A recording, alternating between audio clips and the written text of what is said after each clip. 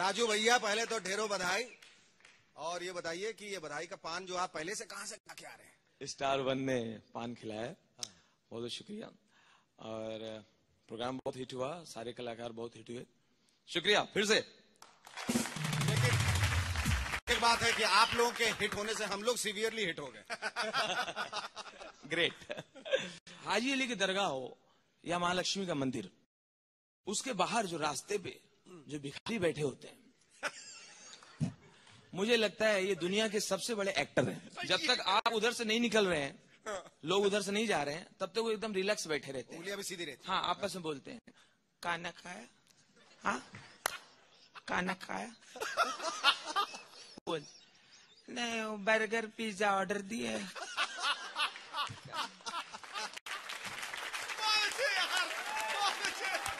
पानी पिया पानी। पानी पिया क्या? मोबाइल पे बोला भी लाया नहीं। और जैसे ही आप उधर से निकले आपको देखते ही उनका धंधा चालू। अल्लाह! अल्लाह! कई बार आदमी घबरा जाता है मैंने क्या किया यार? अभी अभी तक ठीक था इसको करंट किसने दिया?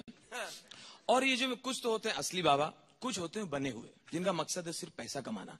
ये क्या करते हैं? कई बार दस बीस को छोड़ के किसी एक को बुलाते हैं। तो जिसको बुलाते हैं, उसको लगता है मेरे में कोई बात है।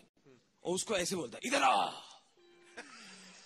तू नसीब वाला है, तू अल्लाह वाला बंदा है। क्या तेरे पाव से बाबा को दे दे, याद रख, हक मौला, बाबा को दे, याद रख, तू नसीब वाला है। बाबा ने तुझसे मांगा है, हक मौला, बाबा को दे दे। अरे, इतना डरा क्यों रहे हो ए, क्या तेरे पास है बाबा को दे दे। अच्छा ये लो दे। हाँ हाँ ये लो। तूने दिया बाबा खुश हुआ। अब मांग मांग क्या माँगता है?